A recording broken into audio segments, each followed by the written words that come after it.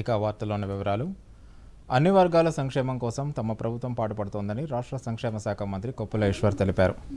ముస్లిం Christian మైనారిటీలకు లక్ష రూపాయల ఆర్థిక సాయం చెక్కులు పంపిణీ కార్యక్రమాన్ని హోంమంత్రి మహమూద్ అలీతో కలిసి ఎల్బీ స్టేడియంలో ప్రారంభించారు.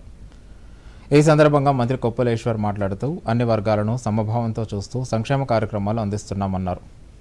రెండు వందల నాలుగు గురుకుల పాఠశాలలు ఏర్పాటు చేసి లక్షకు పైగా విద్యార్థులకు పూర్తి ఉచితంగా విద్యను అందిస్తున్నామన్నారు. మానవీయ కోణంలో సీఎం కేసీఆర్ ఆలోచనలు చేసి సంక్షేమ కార్యక్రమాలు అమలు చేస్తున్నామని ఆయన తెలిపారు.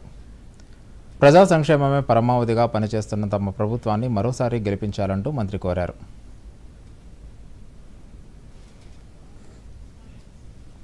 కానీ గతంలో ఉన్నటువంటి ప్రభుత్వాలు ఈ లక్ష రూపాయలు కూడా కనీసం ఇద్దామనేటువంటి ఆలోచన ఆనాడు చేయలేదు.